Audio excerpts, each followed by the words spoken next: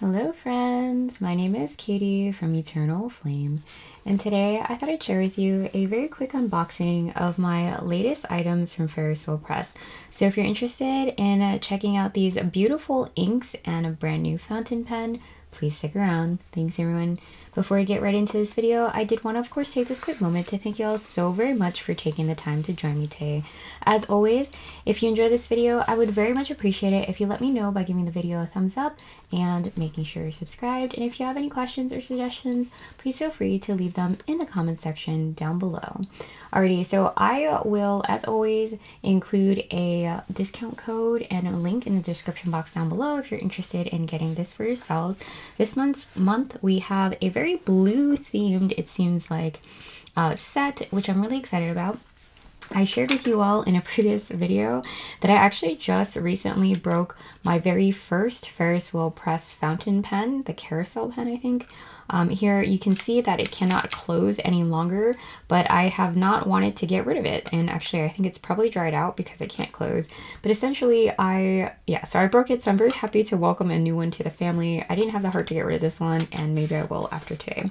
So today we have the Carrousel fountain pen uh, Stylo Plume, Feathered Flight.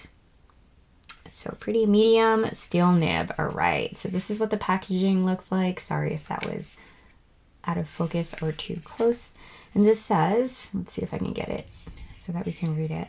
Capturing your most magical memory of the mid midway, the carrousel comes equipped with a converter that is ready to be filled with your favorite fountain pen ink, Bring the brightest, um, bring your brightest ideas to life with the spirit of the carnival. Sorry for reading that very, very awkwardly.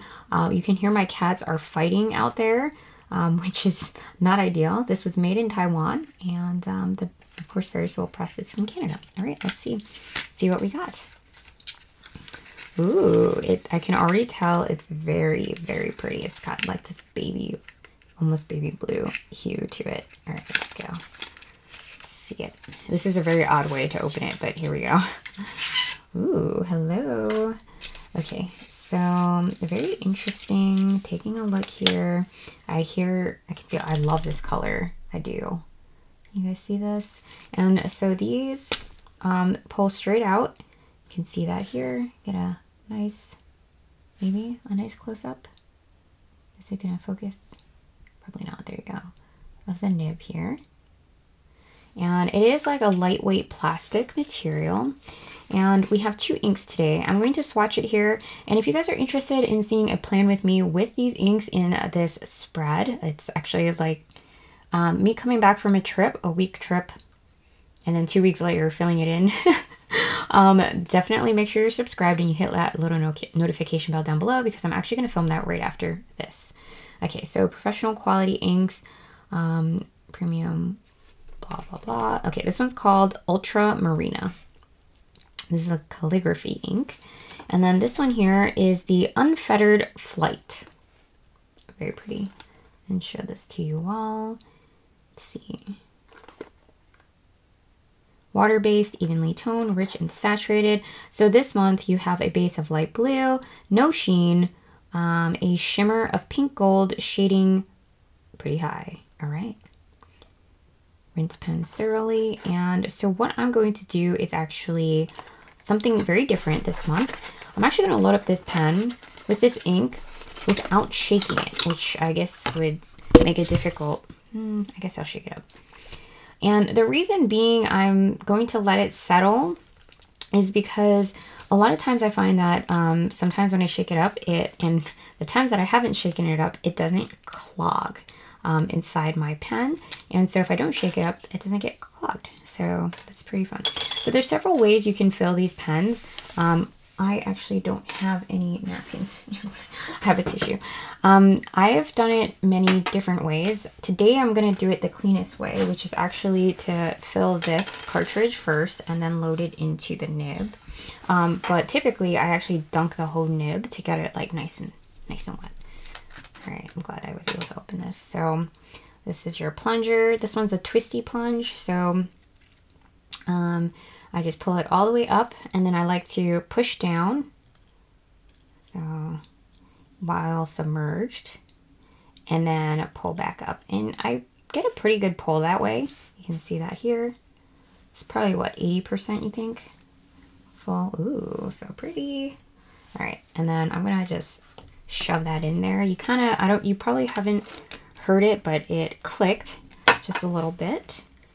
And then I'm gonna give it a little push where it comes to push it down just a little bit.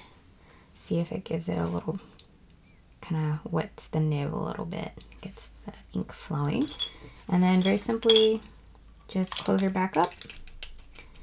And before I apply here, I will try to find some scrap paper somewhere.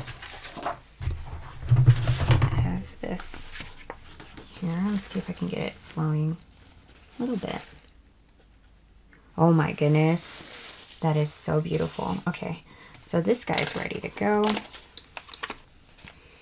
And I'm just gonna go down here and mark it. That's so pretty. Okay, so that is this beautiful unfettered flight. I love this so much. You're not going to be able, maybe, I don't know, see all that beauty. FT2403. This might be easily one of my favorites. It's very interesting too because I pulled some stickers that I plan on using um, for this trip that I just recently took. And um, I think they go really well with this ink. Okay, so next up is this calligraphy ink. Now, I think I'm going to use, it says waterproof, premium quality, smudge resistant. I don't think I have the proper pen for this, but I'm thinking that I'm going to try to use my Kakimori dip pen and then wipe it, like wash it off after this video and see how that goes. Um, but I'm very excited to actually use it in this spread. Wow, very exciting. Oh, look at that. Oh my goodness. This um, is gorgeous. It seems very thick. Oh my goodness. Ooh. Wow, look at that. It's like a milky, milky, milky feel, right? What do we got? Oh my goodness. And it's even got like this little stop here. That must be really helpful. Please don't splash on me. Oh my god. I definitely don't have the right pen for this. There's no way. Um, hopefully this doesn't ruin my pen. um, but I'm just going to do a swatch here so you all can see. Oh, wow. Oh my goodness. How different is that? So, I mean, that's basically all for today's video that I have prepared. Um, but like I mentioned, if you're interested in seeing how I use this, you can see it's like a perfect match already. Um, especially for Easter coming around the corner.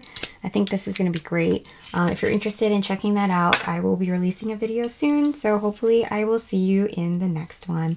Alrighty friends, thank you so much. And until next time, bye.